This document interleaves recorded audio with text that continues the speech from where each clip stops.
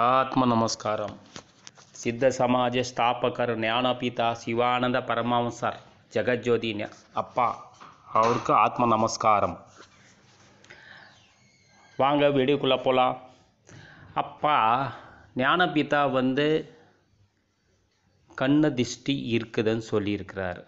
அதனால் ஒரு ஆள் வந்து எவ்வளோ மோசமான நிலைக்கு கூட போவோம் அப்படின்னு அப்பா சொல்லியிருக்கிறாரு. அதனால் கண்ணதிஷ்டி கண்டிப்பாக இருக்குது. ஆனால் அப்பா சொன்ன மாதிரி சதா பிராணாயாமம் பண்ணுறான்னா எந்த சத்ரு தொடாது. அவங்களுக்கு எதுவுமே ஆகாது. அப்பா சொன்னது சொல்லியிருக்குது. அதனால் நம்ம சதா பிராணாயம் செஞ்சால் அது நமக்கு பாதிப்பு வராது. ஆனால் நம்ம செய்யலைன்னா கண்டிப்பாக அது பாதிப்பு வரும். அதுக்கு சாமி வந்து சுற்றி போடுறதுக்கு சொல்லியிருக்கிறாரு. வெங்காயத்தோல் பூண்டு தோல் கொஞ்சம் முடி அப்புறம் மூணு சந்தியில் செய்கிற மண் அப்புறம் விளக்குமார் குச்சி இதை எடுத்து சுற்றி இப்போ பன்னெண்டு குரு மிளகு மிளகு பன்னெண்டு மிளகு பன்னெண்டு குழும்பு இதெல்லாம் உப்பு இதெல்லாம் எடுத்து சுற்றி போடலாம் மாதிரி அவர் சொல்லியிருக்கிறாரு. அதனால் இது வந்து கண்டிப்பாக நம்ம எடுக்கணும். ஏன்னா ஒரு ஆள் ரொம்ப மோசமான நிலை கூட போக முடியும். கண்ணு இருக்குது அப்பா ஞானபிதாவே சொல்லியிருக்காரு. அதே மாதிரி ஞானபிதா சொல்லியிருக்காரு எப்படின்னா துஷ்ட சக்தி துஷ்ட சக்தி இருக்கா? ஆனால் அப்போ பார்க்கும்போது அப்பா வந்து காய்னா ஆசிரமத்தில் அங்கே ஒரு பாறை இருக்குது. மலை மேலே தான் நம்ம காய்னாஸ்வரம் கீழே தான் இருக்குது. அங்கே அப்புச்ச மலைன்னு சொல்லி ஒரு ஒரு பாட்டியாக இருந்த ஒரு துஷ்ட இது இருந்தது சக்தி இருந்தது. அப்போ வந்து அப்பா சொல்லியிருக்காரு அடே இங்கெல்லாம் இருக்கக்கூடாது நீ வேறு இடத்த போ. இங்கே நம்ம பிள்ளைங்கள இருக்குது அப்படின்னு சொன்னதாக அப்பா சொல்லியிருக்கிறாரு. அதனால் அப்பா அதே மாதிரி காயினாசிரத்தில் இன்னொரு நிகழ்ச்சி காமிச்சிருக்காரு. அங்கே ஒரு குளம் இருக்குது. அது சப்த ரிஷிங்க பார்க்கணுன்னு யாரோ வித்தியார்த்தி சொல்லிருக்கும்போது சாமி போட அங்கே இருக்கார் போய் பாடுறோம் சொல்லி காமிச்சிருக்காரு அங்கே. சப்த ரிஷி க- பார்த்ததாக அங்கே வித்தியார்த்தின்னு சொல்லியிருக்காங்க. அது மாதிரி அப்பா நிறைய நிகழ்வு பண்ணியிருக்காரு. அது மாதிரி நித்யானந்த சாமி பற்றி சாமி என்ன சொல்கிறாடே அவன் கபில ருஷிடா அப்படின்னு சொல்லியிருக்காரு. புராண இதில் வந்து கபில ருஷினா ஒரு மாபெரு சித்தனா மணிய முனியும் இருந்தது. நிறைய ஹிஸ்ட்ரி அதை பற்றி அவரை பற்றி பெரிய ஹிஸ்ட்ரி இருக்குது. அதை அதை பற்றி அவர் சொல்லியிருக்காரு. டே அவர் கபில ருஷிடா அப்படின்னு சொல்லியிருக்காரு. அதனால் அப்பா வந்து நிறையா சொன்னது அதெல்லாம் ஒரு இது இது நிகழ்வு.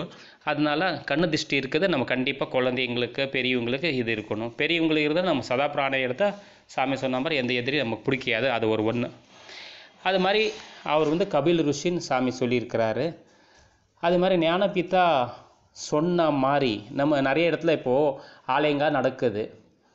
நடக்குதுன்னா அதெல்லாம் எப்படின்னா சா எந்த இடத்துலவே நம்ம சாமி மதிக்கிறான்னா ஒரு பத்து பேர் இருக்காங்க இருபது பேர் இருக்காங்க ஒரு ஐம்பது பேர் இருக்கிறாங்கன்னா அந்த இடத்துல சாமி சொன்ன மாதிரி யாரும் வாழ்கிறா அவங்களுக்கு பொறுப்பு கொடுத்து வந்தாங்கன்னா சாமி ரொம்ப சந்தோஷப்படுவாங்க. அந்த பாதையை ரொம்ப டெவலப்மெண்ட்டாக ஆகும்.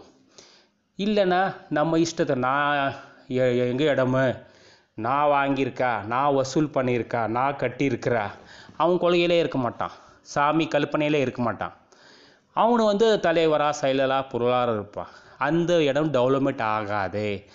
ஏன்னா கண்டிப்பாக நாம் வந்து அப்பாவுக்கு மதித்தாதான் ஆ நமக்கு வந்து ஈஸியாக போகும். அப்பா கூடவே நிற்பார் அப்பா கல்பனையில் யார் இருக்கிறா அவங்களுக்கு தான் நம்ம நான் நீ இல்லாமல் கொடுக்கணும். இல்லை பெற்றவங்கள சித்து விதை பெற்றவங்க நிறைய பேர் இருக்கிறா? அவங்களுக்கெல்லாம் போடணும்னா தப்பும் காரணம் என்ன? அப்பா நம்ம மதிக்கிறதுல அர்த்தம். அப்போ நீங்கள் ஆளை தான் மதிக்கிறீங்க. ஆளை மதித்து அவங்களுக்கு ஒன்றுமே வராது. அது ஒரு உதாரணம் உங்களுக்கு சொல்லுவான் கிருஷ்ணர் வந்து கீதையில் என்ன பண்ணுவார்னா அர்ஜுனன் துருவ அவர் எதிர்கட்சியார் ஒருத்தர் வருவாங்க. போகிறப்போ அப்போது அர்ஜுனன் காலு கட்டி உட்காந்துருப்பான் எதிர்கட்சிக்கார் தலைகடி வந்திருப்பான் ராஜான்னு சொல்லி. ஆனால் முதல்ல அவனு தான் வந்திருப்பான் ஆனால் கண்ணை திறந்தானா அவர் கிருஷ்ணர் வந்து இவர் அர்ஜுனர் பார்ப்பார். பார்க்கறதுனால நான் தான் முதல்ல வந்து இவர் சொல்லுவார். அப்போது இவங்க ரெண்டு பேர் சொல்லும்போது சரி இங்கே பாருப்பா நான் யுத்தம் பண்ண மாட்டேன். ஆயுதம் எடுக்க மாட்டான். ஒருத்த எ- ஒரு பக்கம் எல்லாம் எங்கள் சைனே வீரங்கள் எல்லாமே இருப்பாங்க. எது வேணும் கேளுங்க சொல்லுவாங்க. அப்போ அர்ஜுன் சொல்வார் நீங்கள் என் கூட இருந்தால் போதும் அதெல்லாம் மீதி கூட்டங்கள் வீரங்கள் சைனியங்கள் எல்லாமே அவர் இரு பக்கம் இருப்பாங்க. சரி நான் அதை எடுத்துறேன்னு சொல்லி அவங்க சொல்லுவாங்க. அது மாதிரி நமக்கு வந்து கூட்டம் தேவையில்லை. ஞானபீதா என்ன சொல்லியிருக்காரு அது மாதிரி நம்ம கூட அப்பா நிற்கணும் அதே மாதிரி ஞானபிதா ஞானபிதா வந்து ஆசிரமத்தில் கதி ஒரு ஆசிரமத்தில் தான் கதி எடுத்தார். எல்லா ஆசிரமத்துக்கும் அது கதி வந்தது. ஆசிரம கதி. ஒரே இடத்துல இருந்து எல்லா இடத்துல நாலு ஆசிரமத்துக்கு வந்தது. அதே மாதிரி அப்பா வந்து இந்த கதி எடுக்க வாட்டி நிறையா பட்சிங்கள் பாம்புங்கள் வந்தது. அப்போது சாமிக்கிட்டே ரிப்போர்ட் பண்ணிக்கிறேன். சாமி சொல்லியிருக்காரு டே எல்லாம் இங்கே வரக்கூடாது. நம்ம பிள்ளைங்கள இருக்குது அப்படின்னு சொல்லியிருக்காருனால அதெல்லாம் வரது இல்லை. அதுக்கு மீறி அப்பா வெளியில் இருக்கும்போது ஒரு நாள் காயின் ஆசிரமத்தில் ஜெபம் பண்ணுற மேலாவே பாம்பு வந்து பெரிய பாம்பு வந்துகிட்டே இருந்துச்சு ஜெபம் பண்ணும்போது. அப்போது அப்பாவுக்கு லெட்டர் போட்டிருக்காங்க. லெட்டர் போட்டுட்டு அப்பா இது மாதிரி பாம்பு வருதுன்னு சொல்லி அப்போது அதுக்கு பதில் ரிட்டன் அப்பா லெட்டர் அனுப்பிச்சிருக்காரு. நீங்கள் ஜெபம் பண்ணும்போது அந்த ஜெப்பஹல்ல இந்த லெட்டரை வைங்கன்னு சொல்லியிருக்காரு. அப்போ அந்த லெட்டர் அங்கே வச்சா வாட்டி அணிக்கலும் பாம்பும் இன்றைக்கி வரைக்கும் வரதில்லை அது மாதிரி எந்த ஜீவராசி அப்பா என்ன சொல்கிறாரு அதை அப்படியே கேட்கும். அப்படிப்பட்ட அப்பா சொல்லியிருக்காரு. அது மாதிரி அவரே இந்த ஒரு வித்தியார்த்தி கேட்டிருக்கா ஐயா நான் நம்ம ஜெபம் பண்ணணும் சாப்பாடு அது அப்போ நீ போய் எங்கே இருந்து ஜெபம் பண்ணார் உனக்கு வந்து எண்பத்தி நாலு லட்சம் ஜீவராசி சாப்பிடாததுக்கு முன்னாடி உனக்கு சாப்பாடு வரும் அப்படின்னு அப்பா சொல்லியிருக்கிறாரு. ஏன்னா அவங்க வந்து எல்லா ஜீவராசி கேட்கும் ஆனால் நீ மனுஷனு தான் கேட்க மாட்டா மாதிரி அவர் அப்பா சொல்லியிருக்காரு. அது மாதிரி அப்பா வந்து முன்னியெல்லாம் வந்து ஈவராஷ்டிரம் போகிறதுக்கு ரோடு. இப்போ ரோடால் கிடையாது. ஓடையத்து மாதிரி தண்ணி போகும் பந்தை பிடிச்சிட்டு தான் போவாங்க. அப்போ ராத்திரி நேரத்தில் ஒரு வாட்டி காய ஈவூர் ஆசிரமத்துக்கு நடந்து போகிறாங்க வித்தியார்த்தி ஒரு கூட்டமாக இருக்கும் இருபது முப்பது பேர். ஆனால் வழி சரியாக தெரியல. அப்போ ஒரு ஆள் வந்து பந்தம் பிடிச்சி ஒரு வழி காட்டிகிட்டே போகிறாங்க காட்டு ஆசிரம் கட்டி வந்த வாட்டி அவர் காணாமல் போகிறாரு அப்போது அப்போ யாருக்கும் தெரியல. ஆனால் அப்போது ஜெயராமா சேலாசம் பக்கத்தில் இருக்கார். அவர் சொல்லியிருக்கார் இது. அவர் வந்து அப்போ பார்த்து நினச்சாரா யார் பந்தம் எடுத்து நமக்கு கூட்டு வந்தது? அப்போது அப்பாவே சாமி தான் கூட்டு வந்திருக்காரு. அது மாதிரி நிகழ்வு நிறைய ந- இருக்குது. அது மாதிரி நமக்கு வந்து கண்ணு திஷ்டிக்காக நம்ம வந்து கண்டிப்பாக சுற்றி போடணும். நம் அப்பா சொல்லியிருக்காரு. அது மாதிரி நம்ம வந்து ஜெபம் பண்ணணும். அப்பா வந்து சொன்ன காலம் இப்போது வரப்போகிற மாதிரி இருக்குது. நிகழ்ந்த நிகழ்வை பார்த்தானா அப்படி தான் இருக்குது. அதனால் வரும் காலம் வந்து ரொம்ப வறுமை ரொம்ப கஷ்டமாக இருக்கும். அதனால் நாம் வந்து நல்லா ஜெபம் பண்ணாதான் நமக்கு அப்பா கூட்டிகிட்டே போவார் கூட இருந்து நம்ம கூட்டிகிட்டு போவார். ஒரு குழந்தை இருந்துச்சுன்னா அப்பா அம்மா எப்படி அவர் தூக்கிட்டு இல்லை கை பிடிச்சிட்டு கூட்டு போவாங்க. அது கேட்டால் அது நம்ம இஷ்டத்துக்கு ஓடி இருந்தால் எப்படி இருக்கும்? அது ஆபத்தில் வரும். அதனால் நமக்கு ஆபத்து வராமல் இருக்கணும்னா அப்பா சொன்ன மாதிரி நல்லா அபியாசம் பண்ணணும். டைம் கிடைக்குதா? நல்லா செய்யுங்க. ஒரு நாளைக்கு நீ எட்டு மணி நேரம் பத்து மணி நேரம் செஞ்சால் கூட பிரச்சனை இல்லை.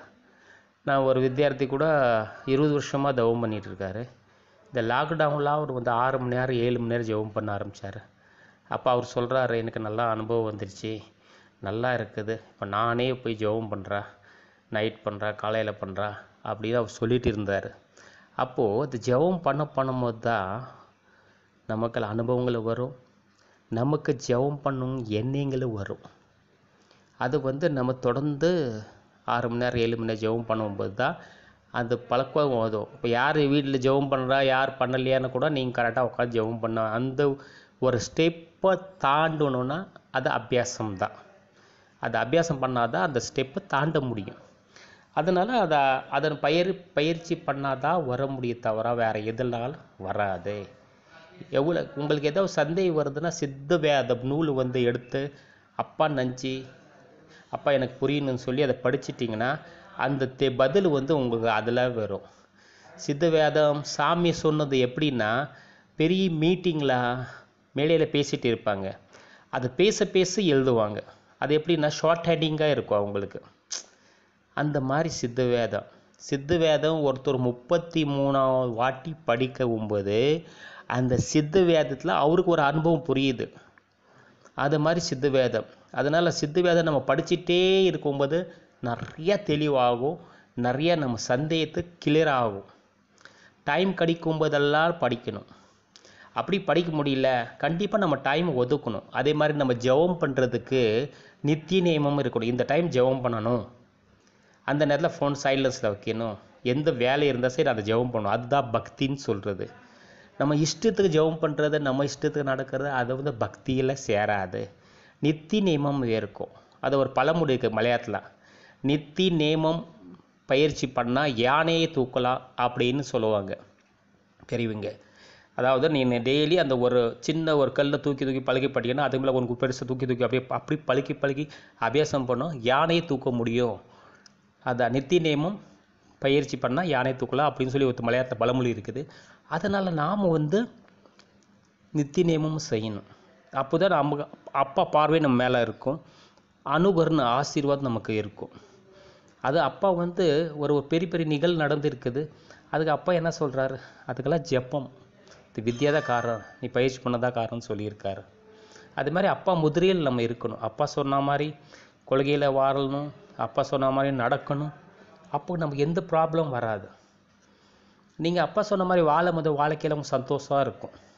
கம்மி வருமானம் இருந்தால் நிம்மதி இருக்கும். நிறைய பணம் இருந்து நிம்மதியே இல்லைன்னு என்ன பிரயோஜனம்? அதுதான். பணம் வசதி இதை நிம்மதி காரணம் கிடையாது. மனசு தான் காரணம் அப்பா சொல்கிறாரு அதனால் அந்த மனத்து நம்ம வெளியில் போனால் துக்கம் உள்ளே போனால் சந்தோஷம். அப்போ நம்ம உள்ளே கொண்டு போகிறது பயிற்சி தான் அப்பா கொடுத்திருக்காரு. சித்த வித்தை இந்த பயிற்சி நம்ம அபியாசம் பண்ணும்போது நமக்கு தேவைக்கு கல்புக்கு வரிச்சுன்னு சொல்லுவாங்க இந்த சித்த வித்தை நமக்கு என்ன வேணும் அது கியூர் ஆகும். ஆனால் சரணாகதியாக இருக்கணும் நித்தி நேமமாக இருக்கணும். சரணாகதினா நித்தி நேமமாக நம்ம ஜெபம் பண்ணணும். சரணாகதினா அப்பா சொல்கிறது ஒரு வார்த்தை கூட மீறக்கூடாது வாதத்தை போகக்கூடாது. அப்போ செஞ்சால் கண்டிப்பாக நமக்கு ஒரு மாபெரும் நிலையை கிடைக்கும். நம்ம லைஃப்பில் என்ன தேவைப்படுதோ அப்பா நமக்கு எல்லாமே கொடுப்பார். அதனால் செய்ய வேண்டியது ஒன்று தான் பயிற்சி. முயற்சி. முயற்சி இருக்கணும் பயிற்சி இருக்கணும் வைரகி இருக்கணும். பயபக்தி இருக்கணும். பயபக்தி இருக்கணும். இருந்தால் கண்டிப்பாக நமக்கு வந்து ஒரு நல்ல நிலையாக கிடைக்கும். குடும்பத்தில் ஒரு எல்லா ப்ராப்ளம் சால்வ் ஆகும். அது நம்ம வந்து ப்ராக்டிக்கலாக நீங்கள் பார்க்க முடியும். அதனால் நாம் வந்து அப்பா சொன்ன மாதிரி வாழ்ந்துட்டு அடுத்த பாகத்தில் நாம் சந்திப்போம். அடுத்த நிகழ்வு கூட. இந்த சேனல் யார் சப்ஸ்கிரைப் பண்ணலான்னா சப்ஸ்கிரைப் பண்ணுங்கள் ஆத்ம நமஸ்காரம். ஆத்ம நமஸ்காரம்.